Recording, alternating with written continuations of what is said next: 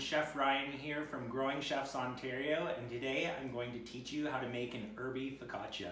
This recipe is really good because it's basically foolproof and it's very customizable to whatever herbs you like or have at hand. Here's what you'll need.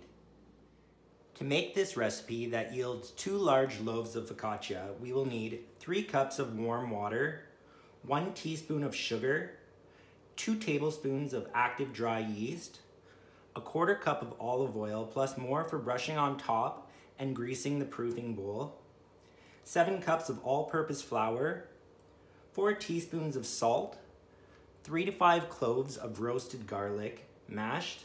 To make roasted garlic, just take a whole bulb of garlic, wrap it in tinfoil and place it in a 350 degree oven for about 20 minutes.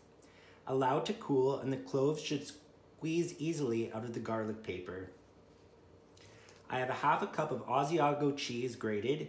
If you want, you can substitute Parmesan or an old cheddar here.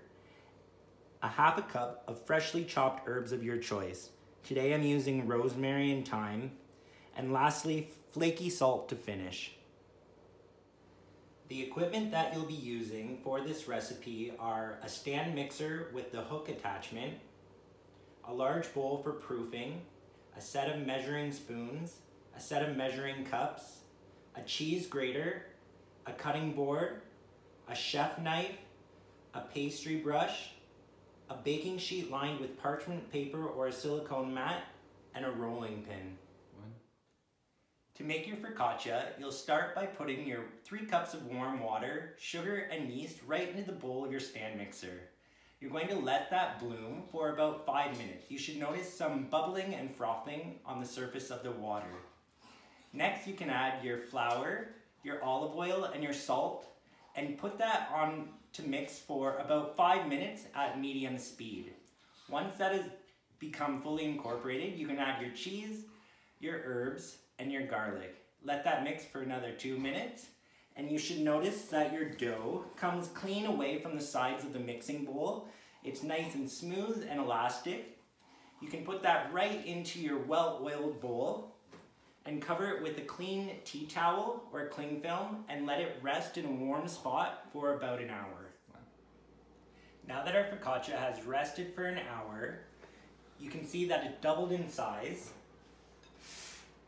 Uh, you're going to knock it down to force all of that air out of it.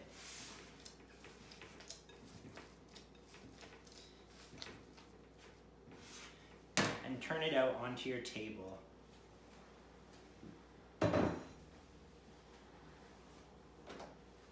You're going to divide the dough in half as equally as possible. And I like to shape my focaccia in an oval. So just sort of gently pulling it under and shaping it. And then either using your hands or a rolling pin, you can flatten it out to about an inch thick.